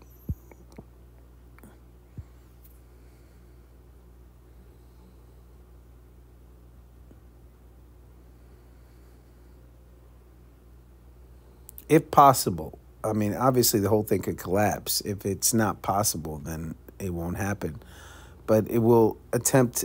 It it will attempt to. There will be a tendency to move towards equilibrium. All right, let's move on.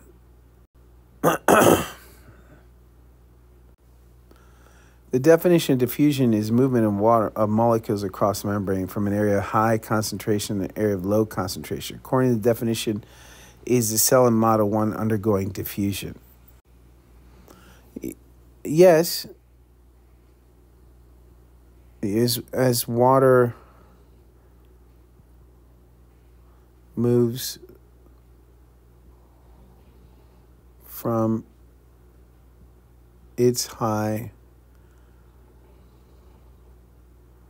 concentration, square brackets mean concentration, to its low square brackets mean concentration.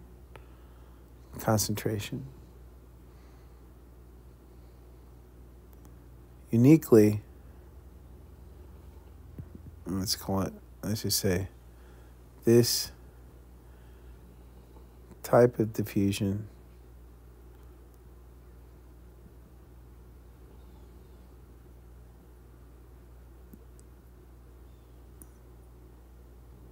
called osmosis.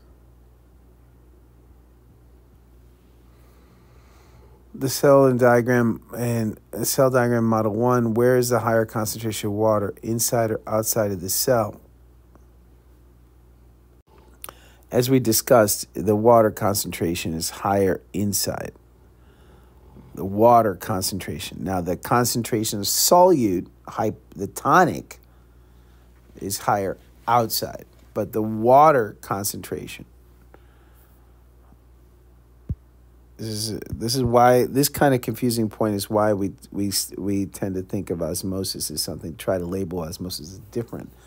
This can be very con- confusing, even though it's it's really pretty simple if you break it down and take it one step at a time. It can get very confusing, as we said in class it's it can sometimes be confusing even even for those of us who know our our right from our left.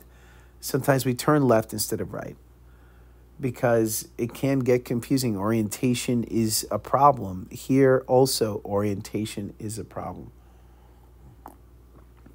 Anybody that plays video games knows that this is an issue. All right, is the cell in model 1 undergoing diffusion? If you consider the concentration gradient a concentration of water on either side of the selective permeable membrane. Well, yeah, yes, as we said earlier, I don't understand why they would.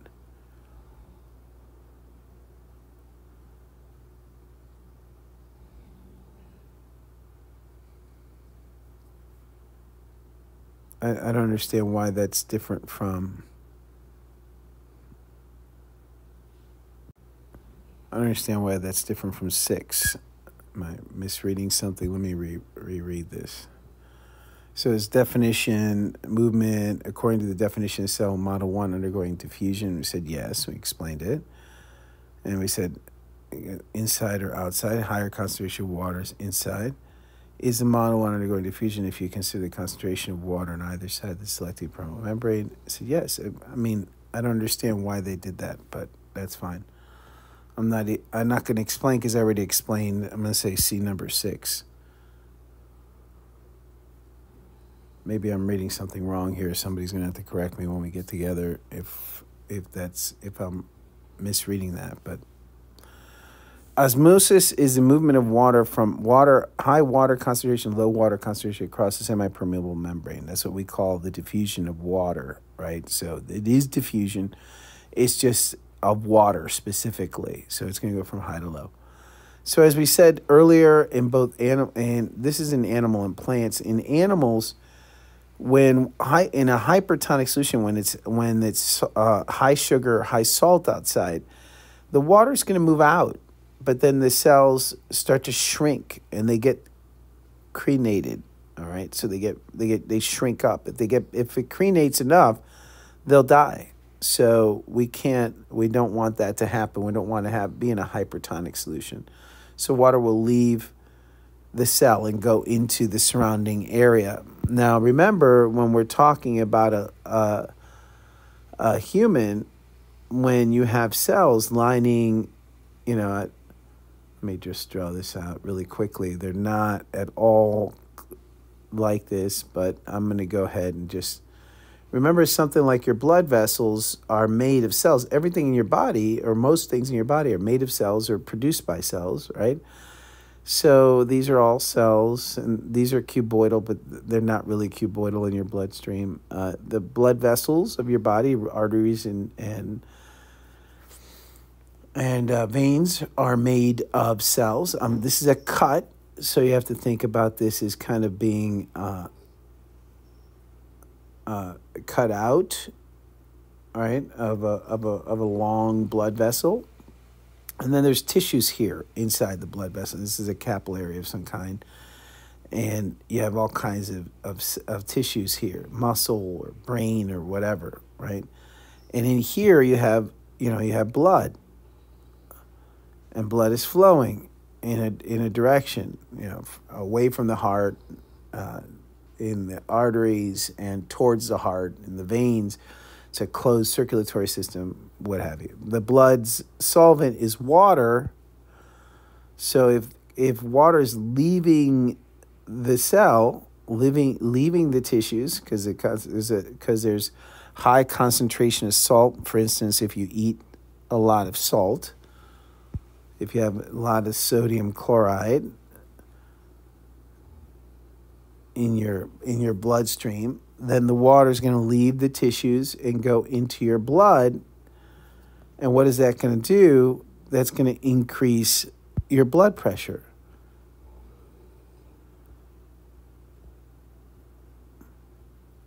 Why is that increasing blood pressure?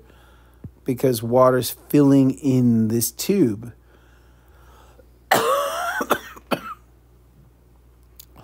It's like when you turn on this the hose, the spigot on the hose, the more water you let in the hose, the more pressure you get going through that that tube. The same thing goes with your arteries and veins. So when you see this water leaving a cell, it's going into the blood or into the tissue. It could be leaving the cell, uh, leaving the cell and going into your inner uh, inner interstitial fluids. So you get swelling so you can get swelling in your in your that's not actually in your blood vessels but actually swells in the swelling in your tissues. The the spaces in between your tissues because there's spaces in between uh, in between your muscle uh, your major muscles and they're surrounded by connective tissue and the water can flow in there and fill those in. We call that swelling. So hypertonic solutions can uh, or a lot eating a lot of salt can make you swell up. It can make you it can give you high blood pressure. That's why that happens. Isotonic that means you're eating your blood or the surroundings the surrounding tissues these are blood cells it looks like. They're going to have they're going to have uh, water moving in and out equally so you have a well balanced normal blood pressure in the case of your blood but there's the cells themselves are going to be in normal shape, whatever that shape is. To be clear, different cells, different tissues of different cells have different shapes, and we'll talk a little more about that next week as well. So, in a hypotonic solution, if you don't have enough salt then the cells would swell up because inside you have a higher concentration of salt than outside. So water is going to flow in. It'll, it could flow in so much it could actually burst, and we call that lysed. So you have your normal cells. It's a normal concentration of salt on both sides of the cell. You have your crenated cells. It means that there's it's higher salt outside. You're eating a lot of salt, uh, Lay's, potato chips, French fries, what have you. Uh, or you you have low salt, low salt concentrations. Your cells will swell up. The cells will swell up, not the blood, but the cells will swell up, and they can actually burst. In a plant cell, crenated plasma is a hypertonic solution outside. Is the worst thing that can happen for a plant because it has it has a cell wall. And so it's not it's very hard for it to be lysed. It be, it, it develops something called Turgor pressure and it becomes turgid. In other words it it's it's straight up and down. It's it stands straight up and down versus drooping right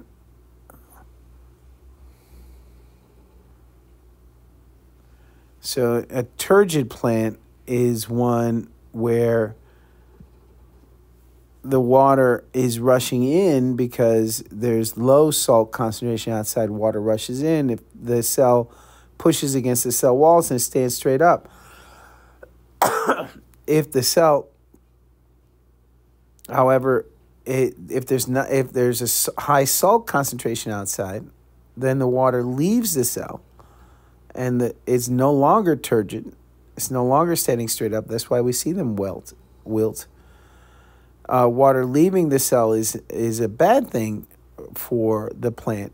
Uh, it has a cell wall, so, uh, but it doesn't have anything that's going to stop it from from shrinking up. We call that plasmolyzed.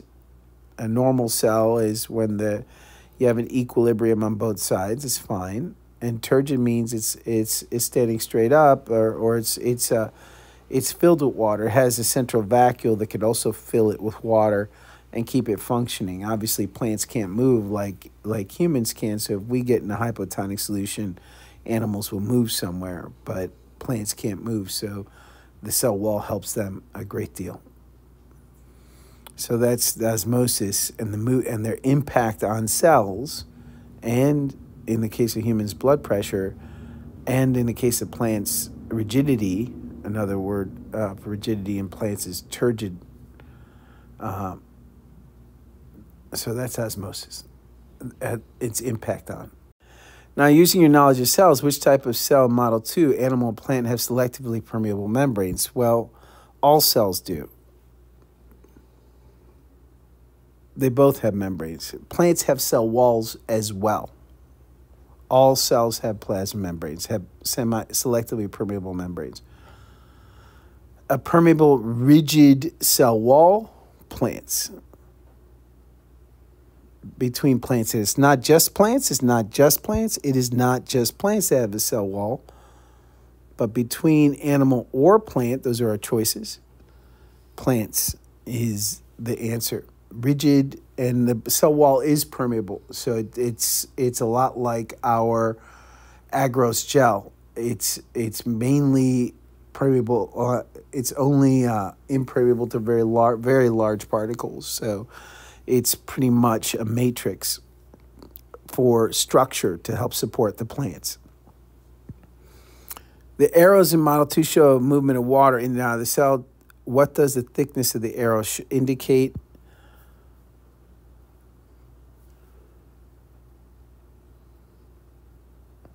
Where the larger amount of water is flowing.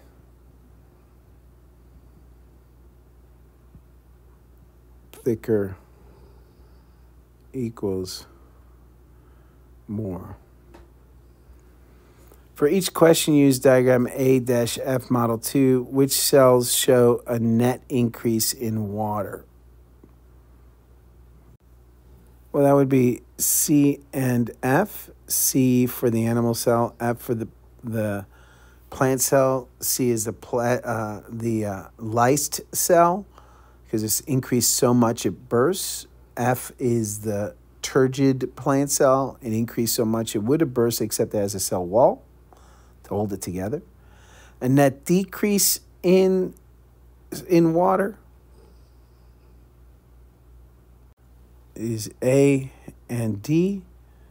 A being the plasma, uh, the creatinated cell, the cell, the animal cell that, that shrunk up to the point where it either died or barely survived. And the other is the, uh, the plant cell, which is the plasmolyzed cell. No net change is obviously, at least I hope it's obvious, it's, it's B and E. And those are the two normal looking cells. Consider definition of osmosis and net movement of water from a dilute solution, high concentration of water. Now, please pay attention that dilute means high concentration of water. To a concentrated solution, so concentrated means a low concentration of water. A, a, high, a concentrated solution means high solute but that means low concentration of water. Again, that, that orientation problem that I was talking about earlier. Describe the concentration of solution surrounding A and D extracellular. Extracellular means what? Outside.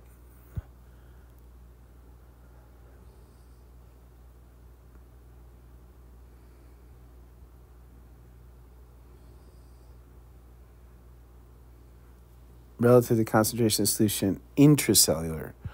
So inside, right?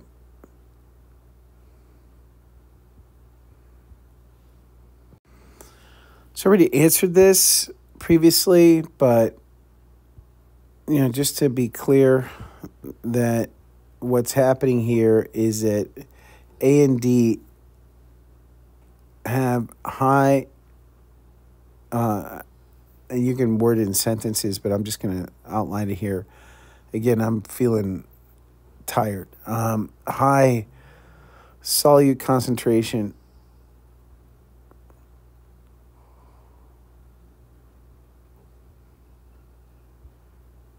So we call that high solute concentration. Uh, outside.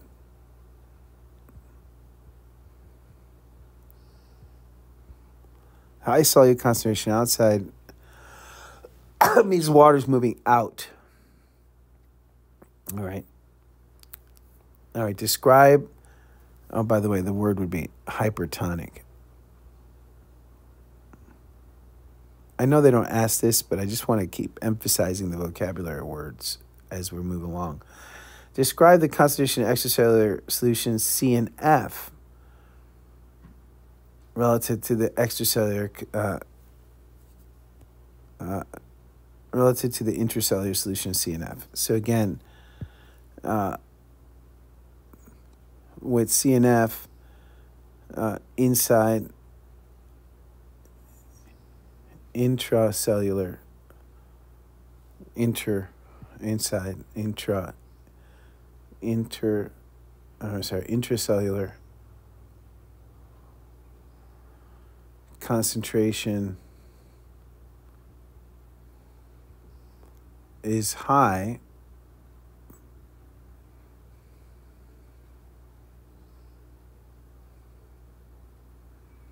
and outside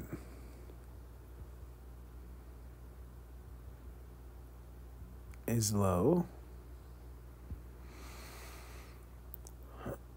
Describe the concentration of extracellular solution BNE and by the way, again, just to emphasize this, this is hypotonic. The solution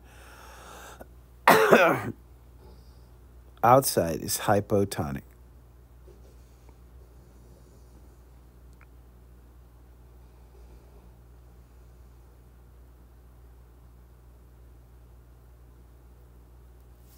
I'd say it's hypertonic.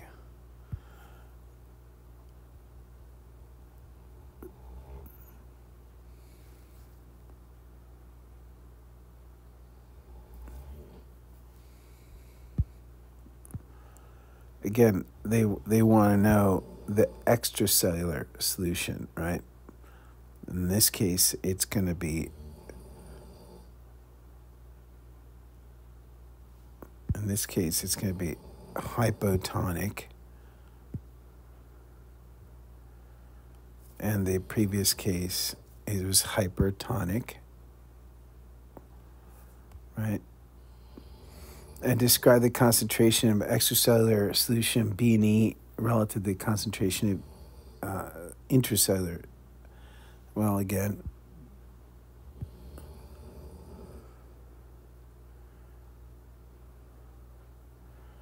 again, this is they are the same.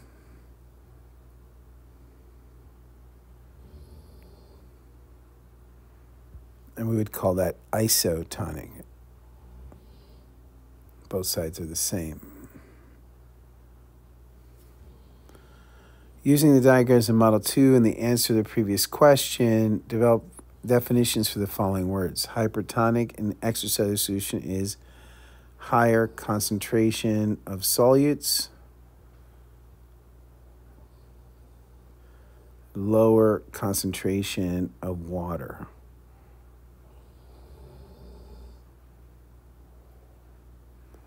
Hypotonic, lower concentration of solutes, higher concentration of water. Isotonic, equal concentration of solutes on both sides. Consider model, cell models in two that are hypertonic solutions. Consider the cell models in model two that are hypertonic solutions. Describe what happened to the plant cell. Water left.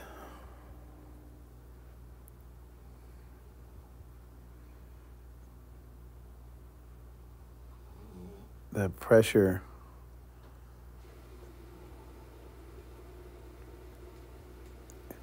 Created by the water. Pushing against the cell wall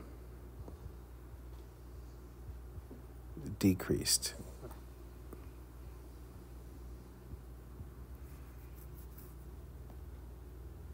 All right.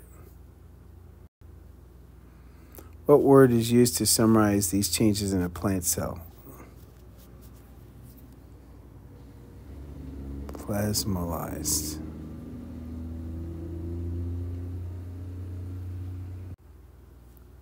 What word we use if the cell were an animal cell? Crenated.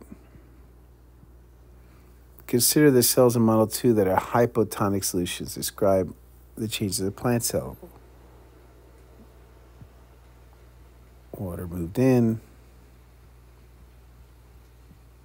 and increased the pressure.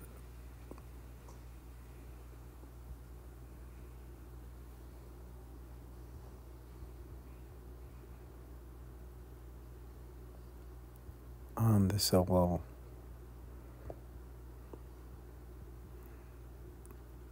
from the inside.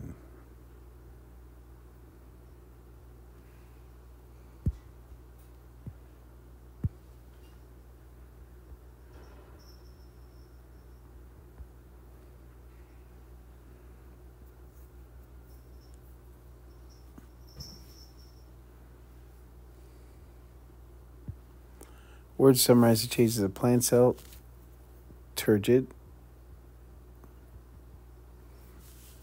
what word would be used at the cell word animal cell?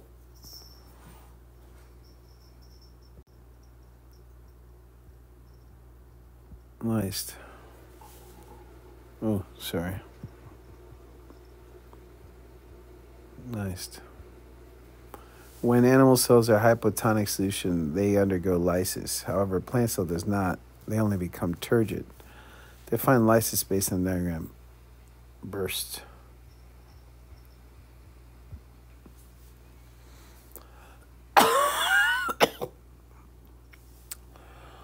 what structure on the on the plant cell prevents lysis from occurring in hypotonic solution cell wall? All right, so that's it. We're done uh, with the honors biology stuff. Everything here. There were a few vocabulary words that perhaps, maybe two vocabulary words that might have been introduced, but I don't think I do remember talking about, them, but not emphasizing them. Um, but there's, it should have been pretty straightforward. However, if you had any issues, I hope this helps. Uh, make sure you have the right answers written in your, the document that you've turned in. Uh, AP kids, I will uh, finish this this afternoon and upload your AP version. Okay.